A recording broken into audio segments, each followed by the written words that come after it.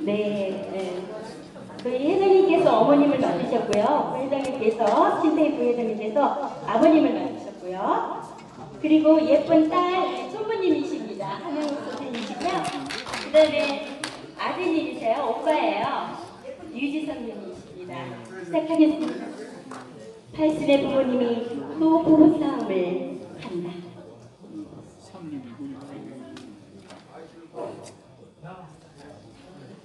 근데 헷갈려서 아, 일단 싸우세요. 자, 시작하겠습니다. 싸움이 시작돼야지 시작이 되거든요. 팔순의 부모님이 또 부부싸움을 한다.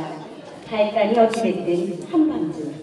아버지는 장롱에서 가끔 대소사가 있을 때 차렸던 양복을 뻔히 입는다. 얼른 입으셔요.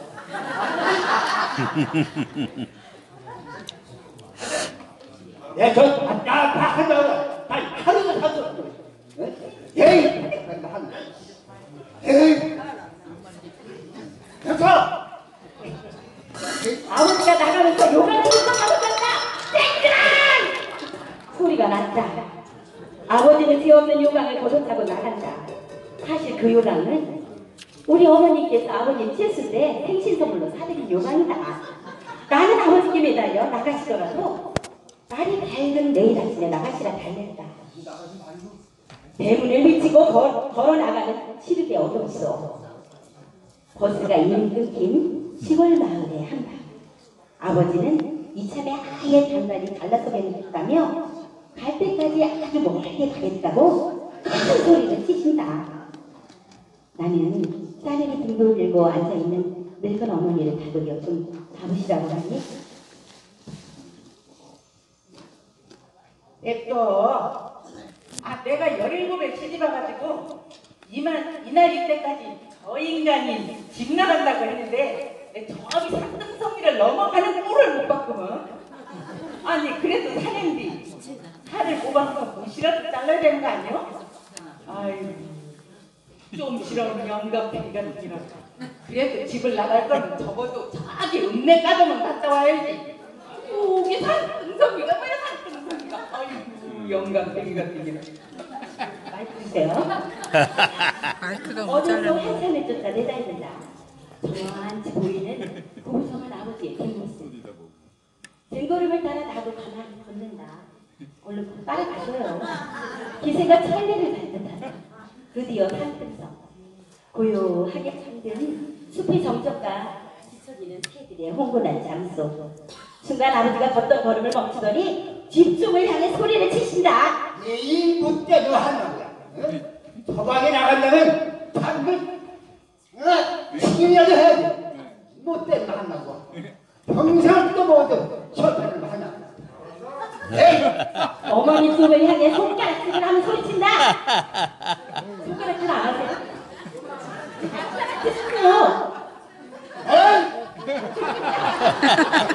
돌려라 씩씩거리는 아버지 집으로 철리길을 내닫는다. 지그시 웃음을 물고 나는 아버지를 몰고 온다. 어머니가 켜놓은 대문 앞 전등불이 환하다. 아버지는 왜 80평생 저 낮은 산등성에 하늘을 채 넘지 못할까? 아들이 묻는다. 아버지는 왜저 산등성이 하나를 못 넘어요? 아 길이 험한 것도 아니고 응? 산이 높지도 않은데 아버지가 아버지가 나탄다. 어, 이놈아. 사장이 산등성이를 넘어가면은 그때 주방이 망하고 마는 거요. 내가 진작에 저 넘어봐서 너가 어디서 나겠니, 니가? 응? 그냥 밀어!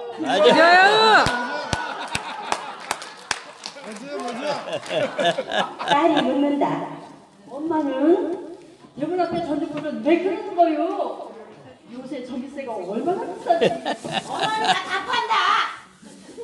남자애가 대문을 나가면 기다려 되는 게 아니야요.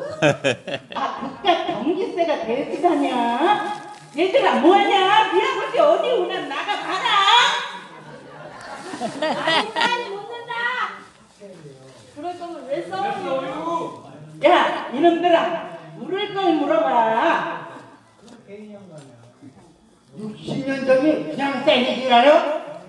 이불 속 병도 60년이지만 쌍박질 정도 60년이야 아버지야 어머니가 해송하게 얼굴을 마주보면서 어깨 동무를 한다. 딸이 내 동생이 친 요강을 주워 아버지에 건넨다. 그러면서 하는 말. 다음에 또 싸울 때 쓰셔야죠. 어떠야지 요강건 선생가 땡 나고 나가라 하라고 역시 소리가 나야지 마시오 안 그려? 그려. 한번 더 물어주세요. 소리가 작아요. 응? 안 그려? 아버지가 성적을 보고 다시 한 번 묻는다.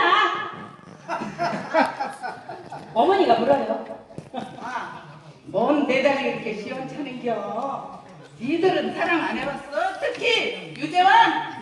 내군요 따뜻한 주세요. 사랑은 역시 이런 생각이 하는 게 강점이지 사랑해본 사람만 대답해봐 해봐 안 그려 그려 그려.